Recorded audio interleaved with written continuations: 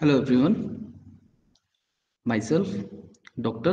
Ajit Kumar Surana, Assistant Professor in Department of Physiotherapy, Suresh Gyanvihar University. Now we are discussing about the learning objectives of the clinical neuroscience.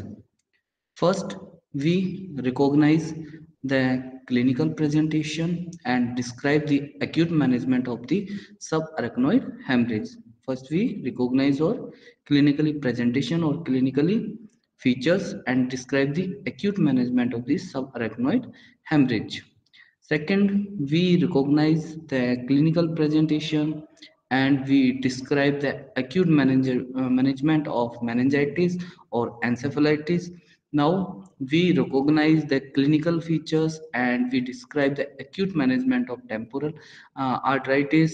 Now we describe the pathophysiology, the clinical presentation, differential diagnostic considerations and basic management of the headache.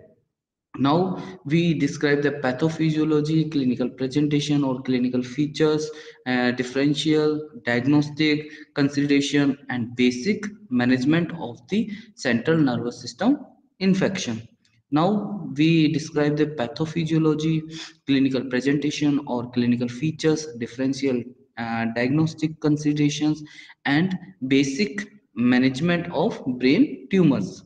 Now we differentiate among the clinical syndromes associated with headache and method of evaluation for further work of the diagnosis and we recognize acute hemorrhage and ischemic stroke on CT of the brain. So these are the learning objectives of the clinical neuroscience like recognizing the clinical features or clinical presentation and describe the acute management of the subarachnoid hemorrhage now second one is that we recognize the clinical features and describe the acute management of meningitis or encephalitis like conditions we recognize the clinical presentation and describe the acute management of temporal arteritis.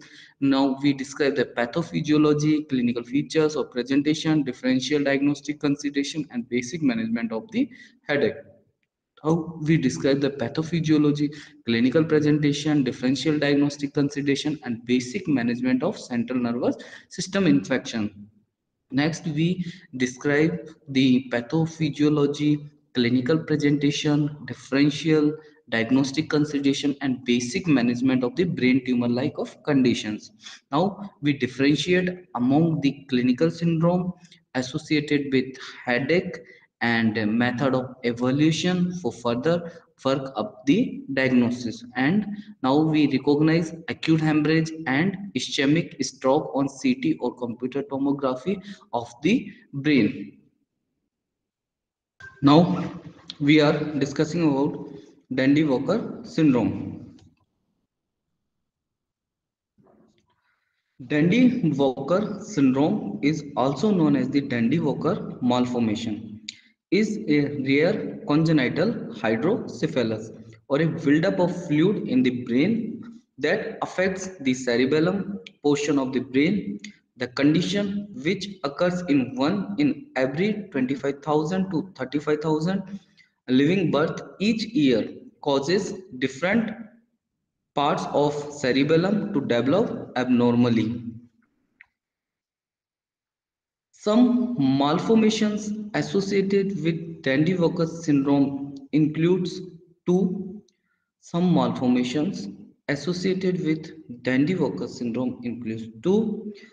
The absence or limited development of the vermis, the central part of the cerebellum, limited development of left and right sides of the cerebellum. So some malformations associated with Dandy-Walker syndrome includes two, the absence or limited development of the vermis, the central part of the cerebellum, limited development of the left and right side of the cerebellum.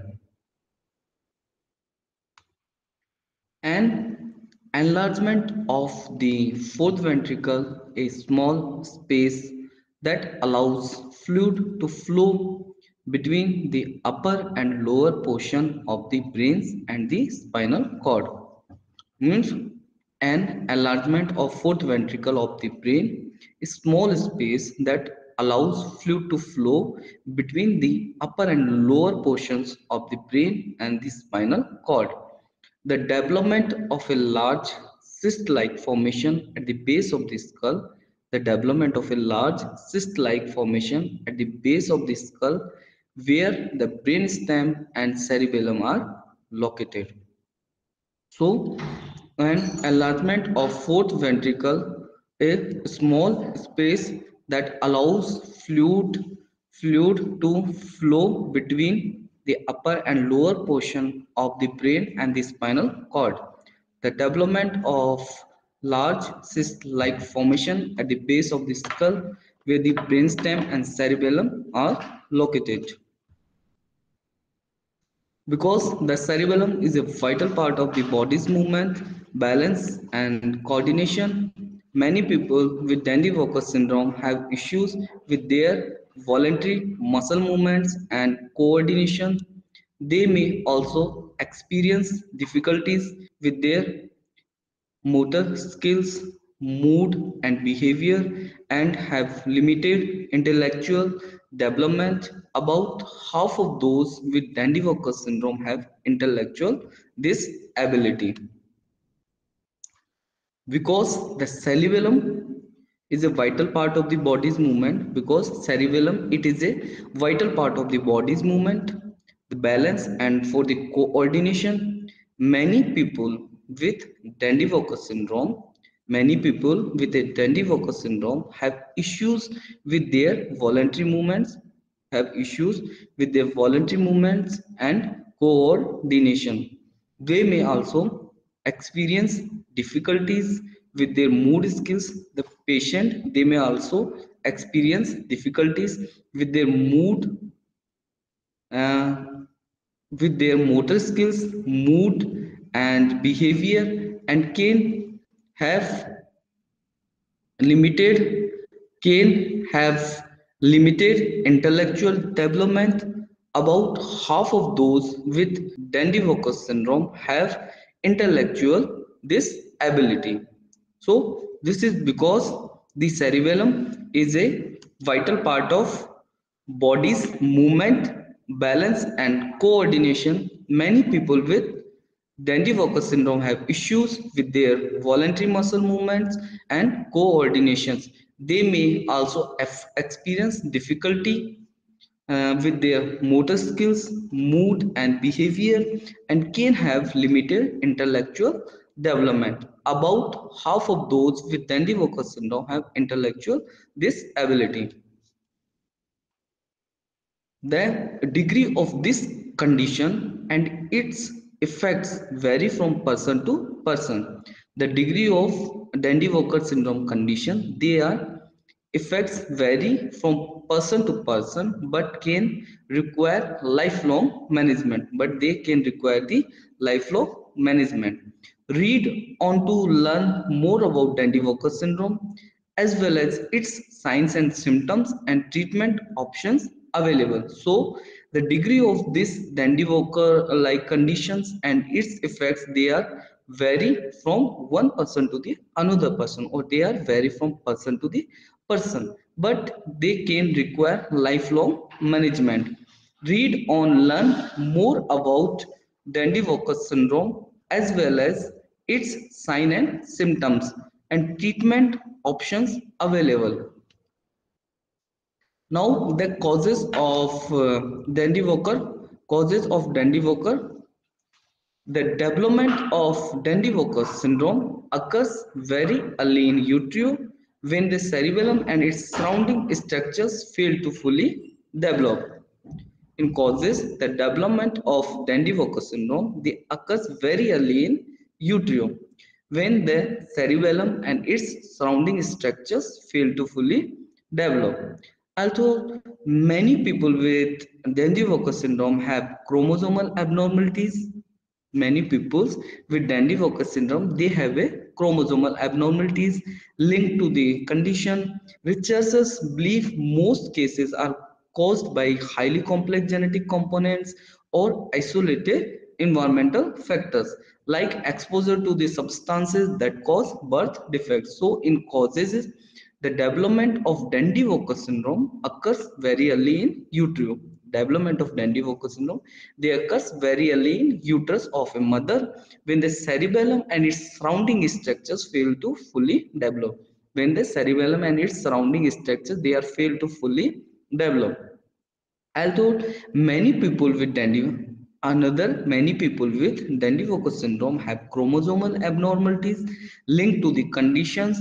Researchers believe most cases are caused by highly complex genetic components or isolated environmental factors like exposure to substances that cause birth defects.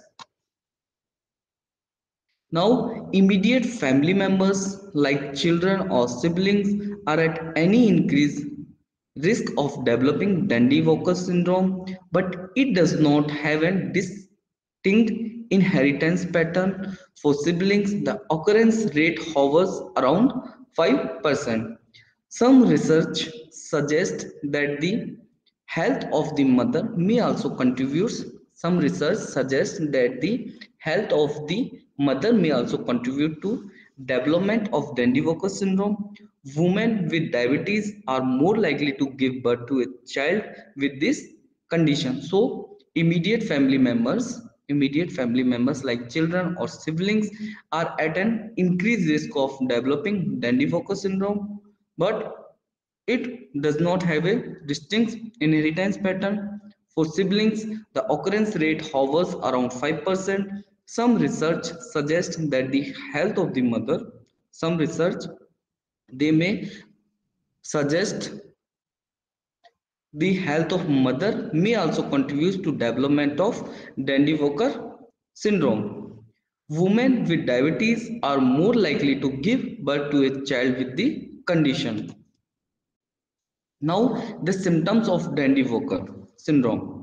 For most people, the signs and symptoms of Dandy-Walker symptoms are evident at birth or within their first year, but 10 to 20 percent of individuals may not develop symptoms until late childhood or early adulthood.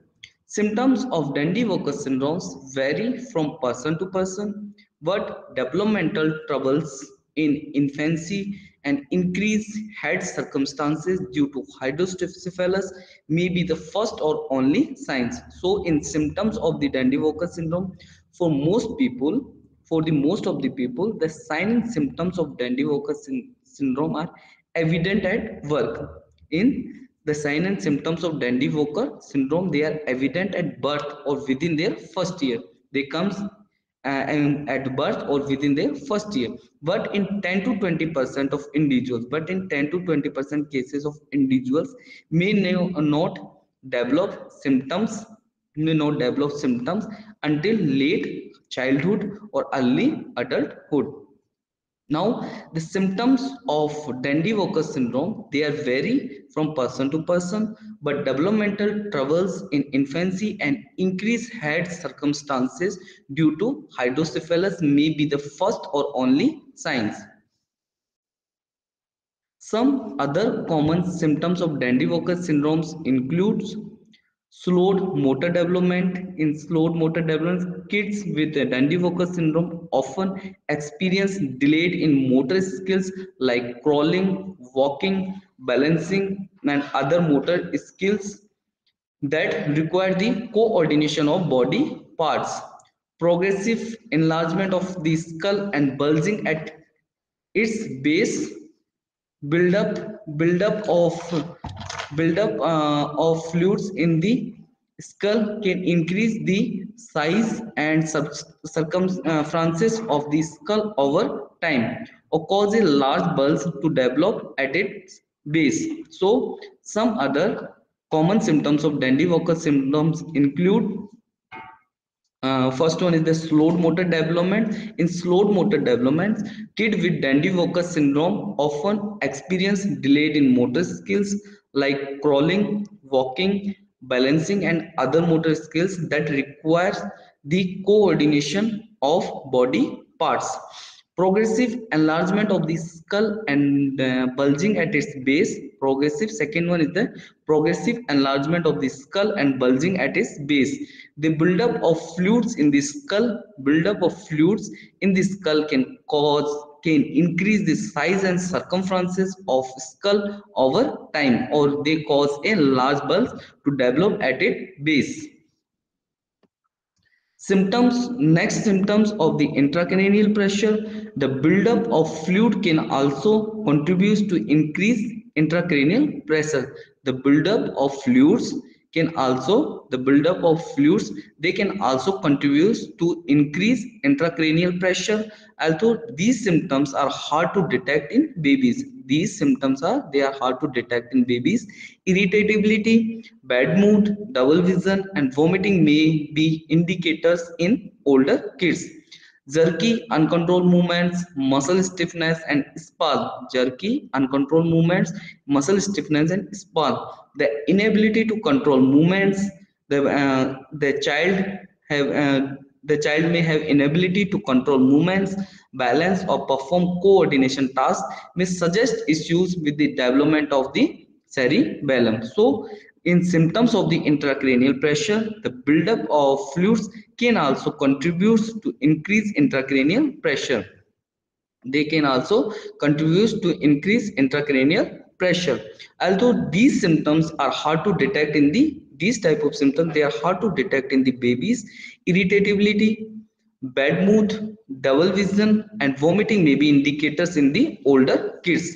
Now, jerky, uncoordinated movements, muscle stiffness and spasm, the inability to control movements, balance or perform coordinated tasks may suggest issue with the development of the cerebellum.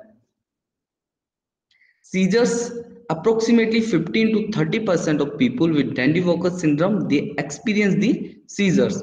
If your child begins to develop any of uh, these symptoms, contact your pediatrician immediately. Be sure to record your child's symptoms when they started, the severity of symptoms and any noticeable progression and bring your nose to your appointment. So seizure, it is approximately 15 to 30% of people approximately it comes in 15 to 30 percent of people with Dandy-Walker syndrome they experience the seizures if your child begins to if your child it begins to develop any of these symptoms if your child begins to develop any of these symptoms contact your pediatrician immediately contact your pediatrician immediately. We sure to record your child symptoms. We sure to record your child symptoms. When they started when they started the severity of the symptoms the severity of the symptoms and any noticeable progression and any noticeable progression and bring your notes to your appointment. Now the diagnosis of the dandy-walker syndrome. Dandy-walker syndrome is diagnosed with the diagnostic imaging. It is diagnosed with the diagnostic imaging after a physical exam and questionnaire after a physical exam and questionnaire your child's doctor will order an ultrasound computed tomography scan or magnetic magnetic resonance imaging or mri to look to look for signs of dandy-walker syndrome including malformation in the brain and the buildup of the fluids. So in diagnosis of uh, the dandy-walker syndrome Dandy-Walker syndrome, it is diagnosed with the diagnostic imaging. It is mainly diagnosed with the diagnostic imaging. After a physical exam, after a physical exam and questionnaire, after a physical exam and questionnaire, your child's doctor, your child's doctor will order an ultrasound. A child doctor or a pediatrician will order an ultrasound, computed tomography or CT scan or magnetic resonance imaging to look for signs of Dandy-Walker syndrome, including malformations in the brain and the buildup of fluids. Now, the treatment of the Dandy-Walker syndrome. Although Dandy-Walker syndrome can interfere with everyday lives, it can interfere with everyday lives, uh, milder cases don't always require treatment milder cases don't always require treatment it depends on the severity of the it mainly depends on the severity of the developmental and coordination issue the person is experiencing some common treatment for Dandy-Walker syndrome includes four. Some common treatment for the Dandy-Walker syndrome includes the surgical implantation of a shunt in the skull, the surgical implantation of a shunt in the skull, in surgical implantation of shunt in the skull, if your child experiences increased intracranial pressure, uh, surgical implantation of shunt in the skull is required if your child experience increased intracranial pressure. Doctors may recommend inserting a shunt. Doctors they may recommend inserting a shunt or a small tube in the skull to help elevate pressure in the skull to help elevate pressure. This tube will drain fluid from the skull. This tube will drain fluid from the skull and carry it to other areas of the body.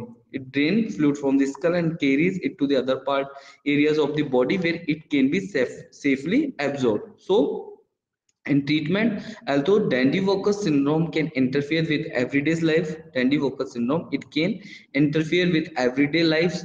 Uh, milder cases don't always require treatment. Milder cases of dandy-walker syndrome may not require treatment. It mainly depends on the severity of the it depends on the severity of the developmental and coordination issues. It mainly de uh, depends on the severity of development and coordination issue the person is experiencing. Now the some common treatment for the Dandy-Walker syndrome includes first one is the surgical implantation of a shunt in the skull skull surgical implantation of a shunt in the skull. If your child experience if your child experience increased intracranial pressure doctor may recommend it Doctor may recommend inserting a shunt or a small tube in the skull to help elevate pressure. To help the elevate pressure, this tube will drain fluid from the skull and carries it to the other areas of the body where it can be safely absorbed.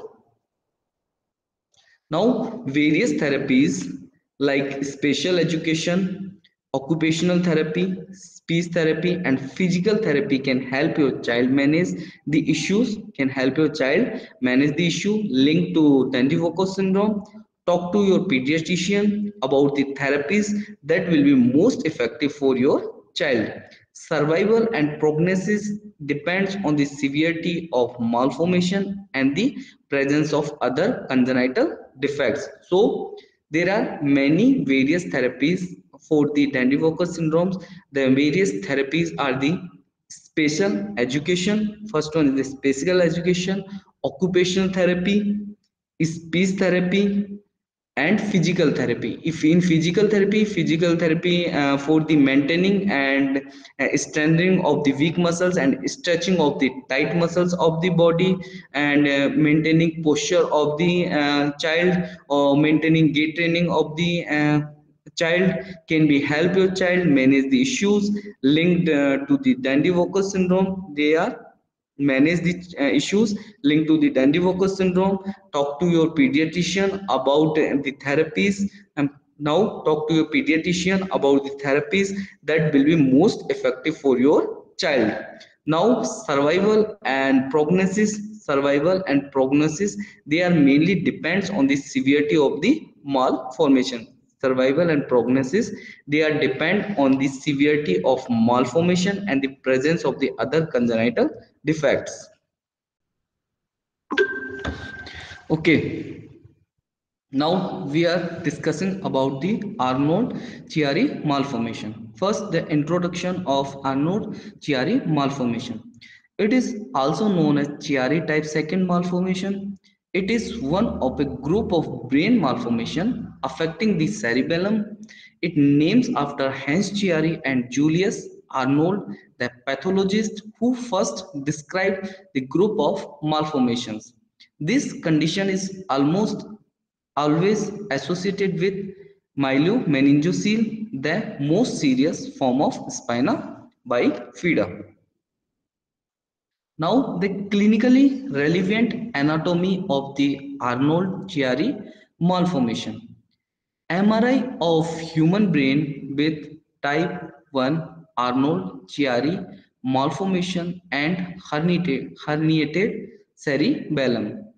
Normally, the cerebellum and parts of the brain stem sit in an intended space at the lower rear of the skull above the foramen magnum, a funnel-like opening to the canal. When part of cerebellum is located below the when the part of cerebellum is located below the foramen magnum, it is called as Chiari malformation.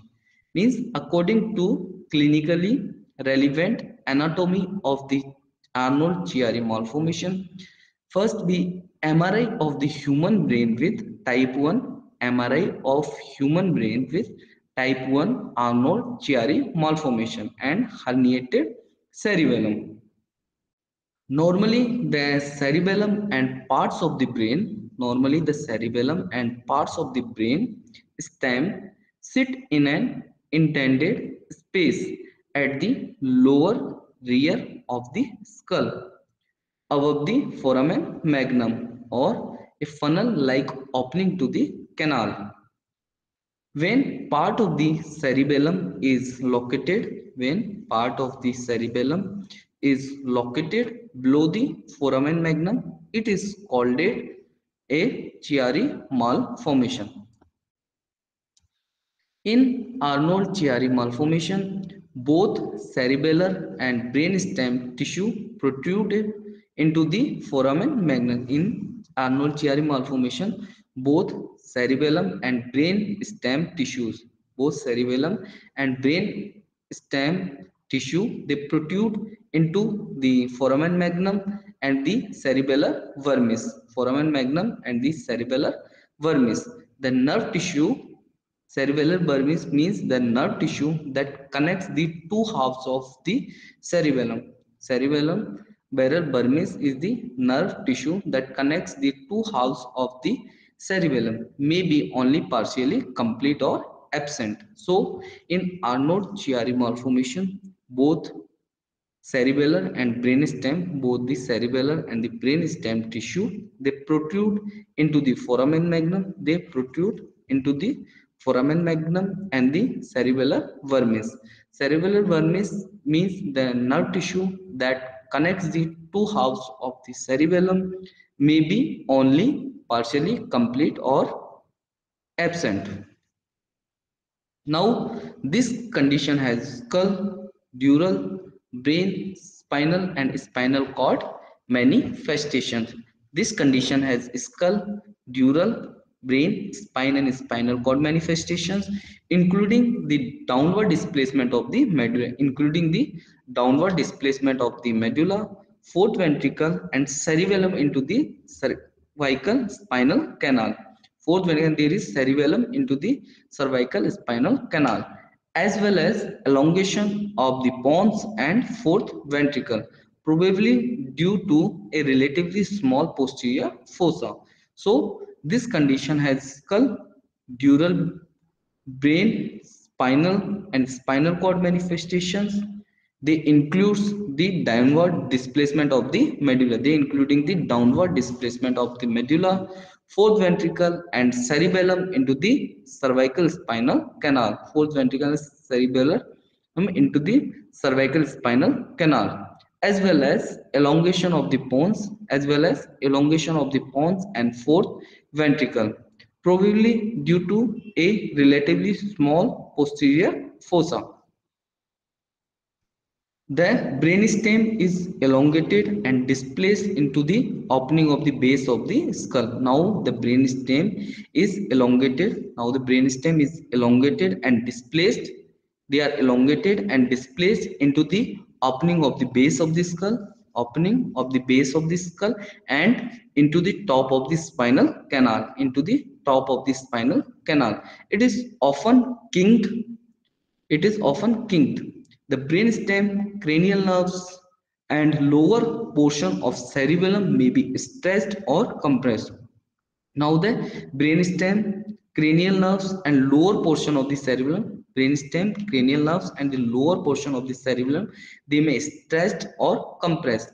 This means that this means that any functions controlled by these area may be affected. So the brain stem is elongated. Now the brain stem is it, it is elongated and displaced into the the brain stem is elongated and it is displaced into the opening of the base of the skull opening of the base of the skull and into the top of the spinal canal and into the top of the spinal canal. It is often kinked. It is often kinked.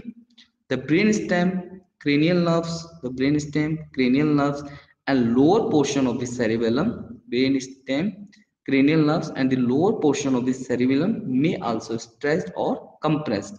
This means that any of function this means that any functions controlled by these area, any function that is controlled by these areas may be affected.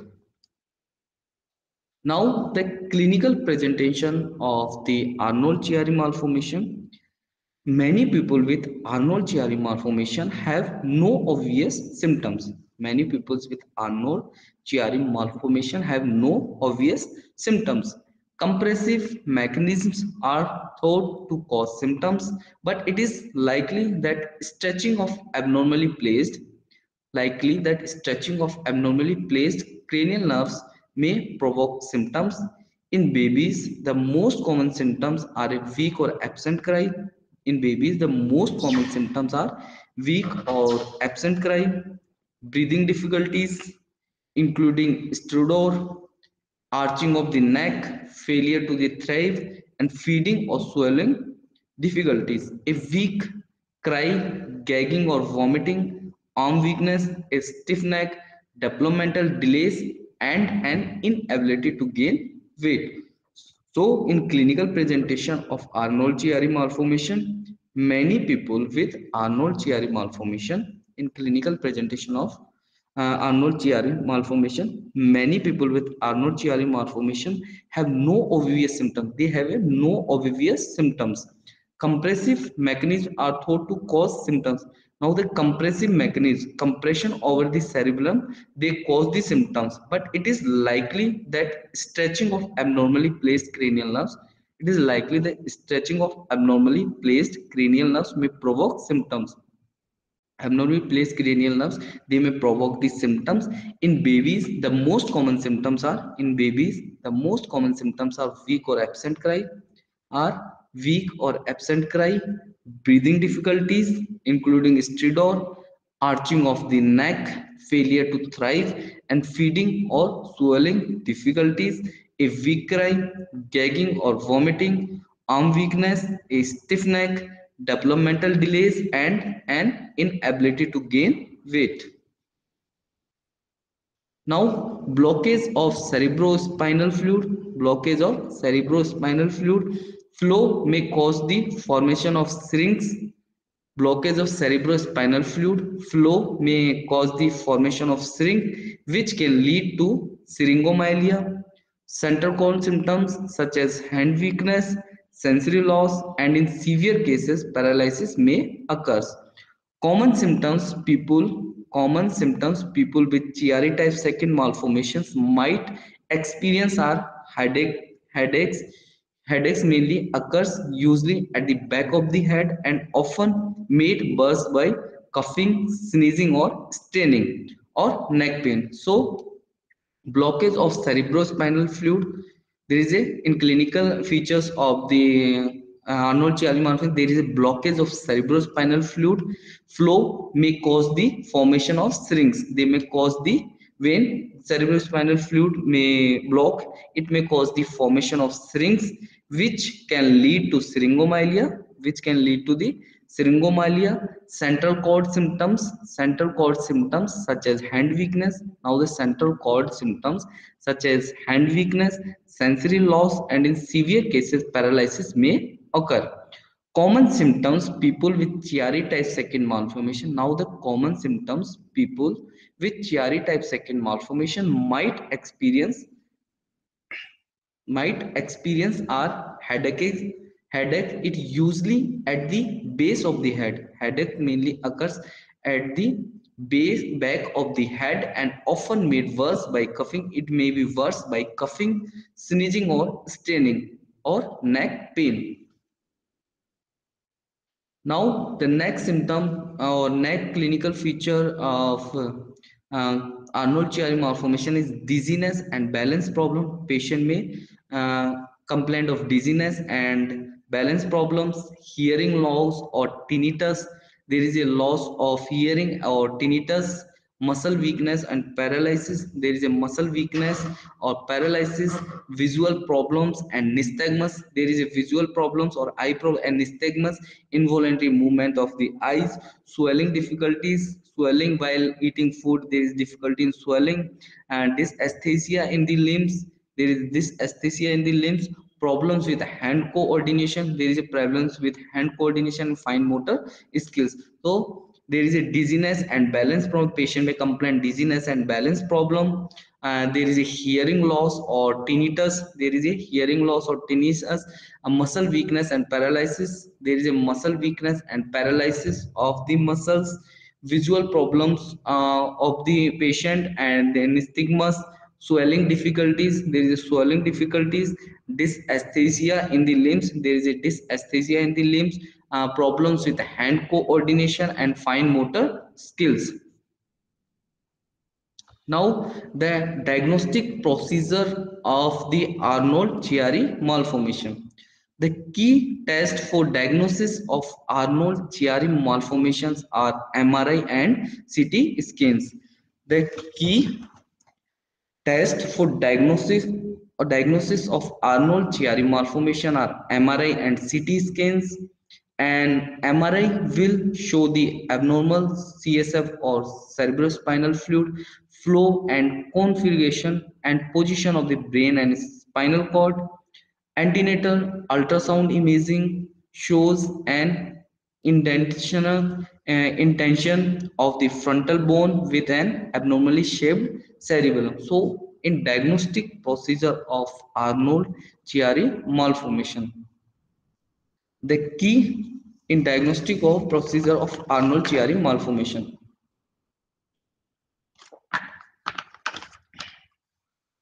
The key tests for diagnosis of Arnold-Chiari malformation. The key test for the diagnose, uh, diagnosis of the Arnold-Chiari malformation are MRI and CT scans and MRI will show the abnormal CSF flow and, and MRI, it will show the abnormal CSF or cerebrospinal fluid flow and configuration and position of the brain and spinal cord. Position of the brain and spinal cord. Antenatal ultrasound imaging shows an indentation of the frontal bone with an abnormally shaped cerebellum Now, differential diagnosis for the Arnold-Chiari malformation. The main differential diagnosis is the type of Chiari malformation. This Chiari 1 malformation does not have an myelomeningocele. Myelomeningocele is a condition of the spina bifida or serious condition of the spina bifida. Chiari third has an occipital and or high cervical encephalocele. Now, Chiari 4 has severe cerebellar hypoplasia without displacement of the cerebellum through the foramen magnum. So, in differential diagnosis of the Chiari malformation, the main differential diagnosis is the type of Chiari malformation. The main differential diagnosis is the type of Chiari malformation. First, Chiari 1 malformation does not have an myelomeningocele. Chiari 1 malformation, they does not have an myelomeningocele.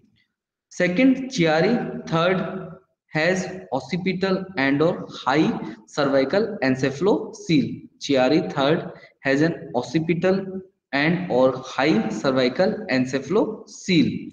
Now, Chiari 4 has severe cerebellar hypoplasia without displacement of cerebellum through the foramen magnum. So in differential diagnosis, the main differential diagnosis is the type of Chiari malformation. The main differential diagnosis is the type of the Chiari malformation. In Chiari 1 malformation does not have meningocele in Chiari 1 malformation there is does not have myelomeningocele. In Chiari third has an occipital or high cervical encephalocele. In Chiari third has a occipital or high cervical encephalocele. Now in Chiari 4 has severe cerebellar hypoplasia. Chiari 4 has severe cerebellar hypoplasia without displacement of the cerebellum through the foramen magnum. Now, the epidemiology of the Arnold-Chiari malformation. It used to be said that Chiari malformation are rare. It used to be said that Chiari malformations are rare, but with routine use of MR imaging, Chiari malformation is discovered with increased frequency. Chiari malformation is discovered with increasing frequency Chiari second is found in all children. Chiari second, it is found in all children with myelomeningocele, although less than one third developed symptoms referable to this malformation. So in epidemiology of the Chiari malformation, it is used to be said that it is used to be said that Chiari malformation are rare. It is a rare condition. Chiari malformation is a rare condition. But but with routine use of MR imaging or uh, routine use of MRI or MRI imaging, Chiari malformation is discovered. Chiari malformation is discovered with increasing frequency. Chiari malformation is discovered with the increasing frequencies. Chiari second is found in all children. Chiari second malformation, it is found in all children with myelomeningocele. Although less than one third develop symptoms referable to this malformation although less than one third develop symptom less than one third develop symptoms they are referable to this malformation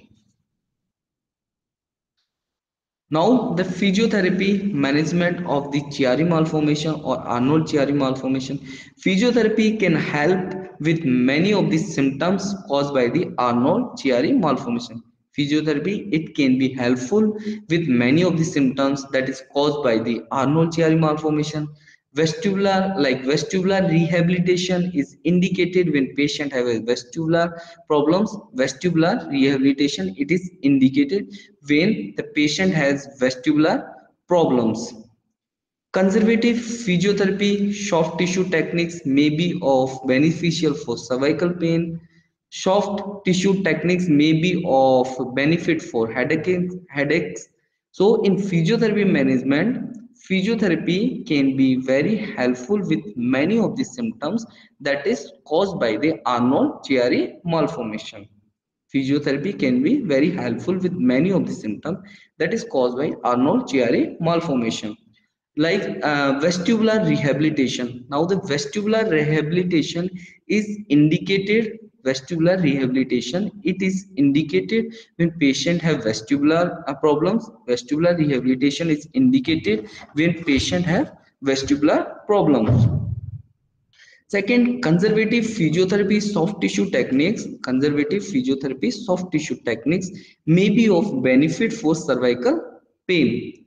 Conservative physiotherapy soft tissue techniques they may be of benefit for cervical pain now the soft tissue technique may be of benefit for headache. Soft tissue techniques they may be of benefit for headache. So this is the physiotherapy management of the Arnold Chiari malformation. Now the surgical intervention of the Arnold Chiari malformation. Treatment of patient with Arnold Chiari malformation is complex treatment of the treatment of the patient with Arnold Chiari malformation it is complex. Due to the variety and variable uh, variable due to variety and variable severity of the malformation. It is mainly due to the variety and variable severity of the malformations. But some patient may require any of the following surgeries. But some patient may require any of the following surgeries interventions like menin uh, myelomeningocele repair and management of neurogenic bladder. So in surgical interventions, treatment of the patients with Arnold-Chiari malformation is very complex. It is mainly due to the variety and variable severity of the malformation. It is mainly due to the variety and variable severity of malformation.